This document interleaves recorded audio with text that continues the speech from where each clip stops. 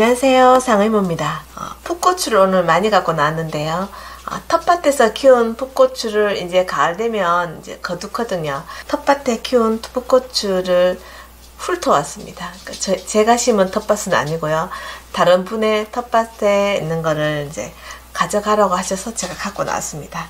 여러 가지가 섞여 있거든요 빨간 고추는 이제 열무김치 담을 때 쓰면 되니까 따로 정리하고요 벌레 먹은 거 따로 정리하고요. 요거는 익어서 조금 단단하고 매운 거 있죠. 상태 보고 벌레 먹었다 싶으면 빼시고요. 요거는 매워 보여요. 근데 요거는 또 생으로 찍어 먹을 수 있는 거니까 이렇게 따로 이렇게 매운 거 따로 그리고요 또 완전히 요거 작은 거 있죠 애기 고추 아주 작은 이런 거는 또 쪄서 먹거나 볶아 먹으면 되니까 안 매운 거 따로 이런 식으로 먼저 분리를 할게요 이건 단단하니까 매운 거에 넣고요 완전히 썩은 거는 버리고 보들보들하고 그냥 바로 생으로 먹을 수 있는 거는 생고추 찍어 먹는 거 따로 보관하고요. 어, 요거는 단단하니까 매운 것. 이렇게 작은 거는 애기 고추, 찜고추 하는데 넣을게요. 다 이렇게 알뜰하게 정리를 해서 먹어보도록 하겠습니다. 이렇게 애기 고추 먼저 이렇게 정리하고요. 보드라운 것, 매운 것. 고추를 이렇게 정리했습니다. 전 오늘 빨간 게 많이 안 나왔지만요. 이게 혹시 많이 나오신 분들은 꼭지 따서 씻어서요.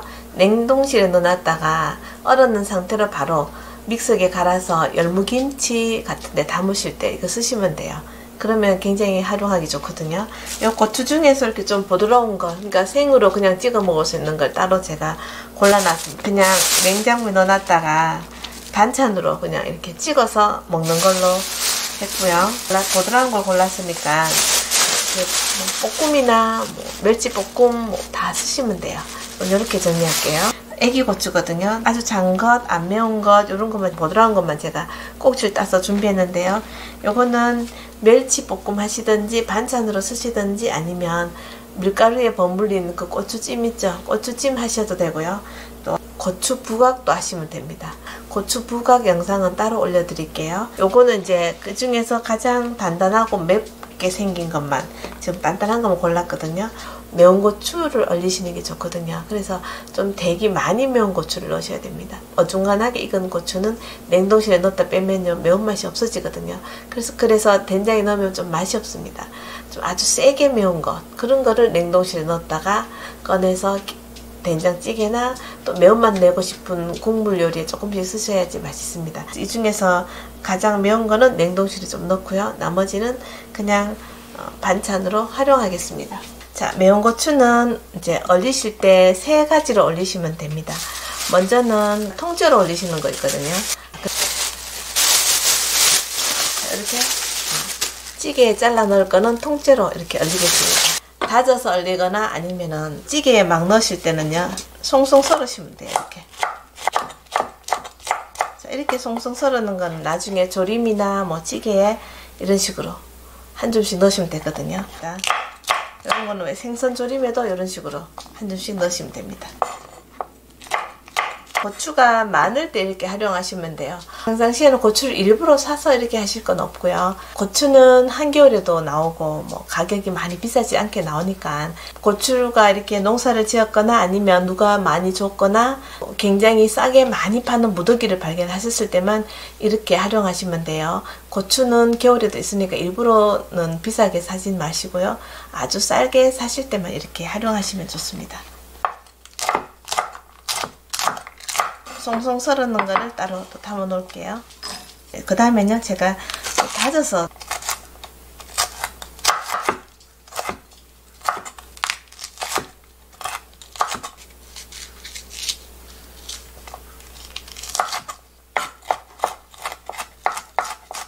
다진 거를 말릴 수도 있고요.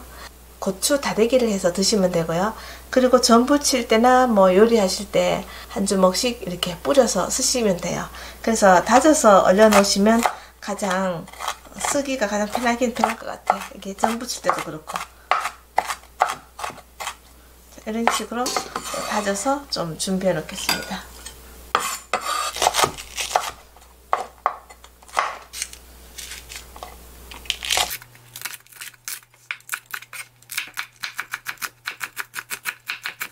자, 풋고추를 냉동시킬 때는 이렇게 네 가지로 다진 것과 그리고 이렇게 송송 썰은 것과 빨간 것과 그리고 통째로요.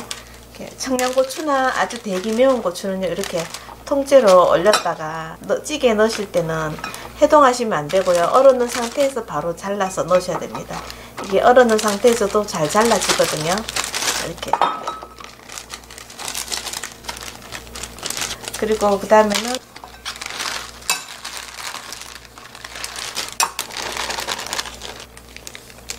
이렇게 어, 넣어놨다가 생선 조림이나 이런 데 찌개나 김치찌개 이런 데다 조금씩 꺼내서 쓰시면 돼요.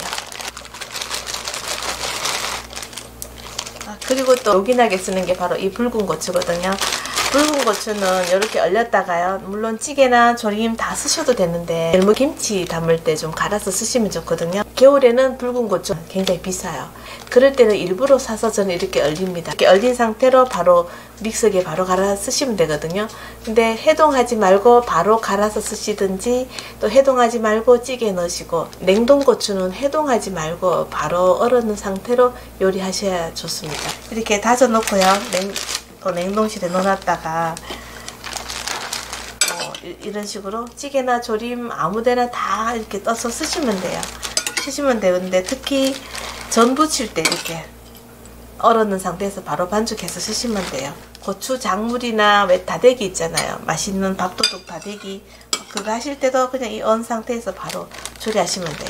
고추가 공짜로 생겼거나 아니면 아주 저렴하게 많이 샀을 때는 이렇게 고추를 활용하시면 좋습니다.